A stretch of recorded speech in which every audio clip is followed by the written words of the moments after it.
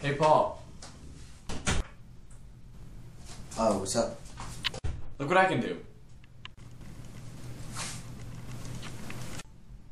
Who are you? I am God.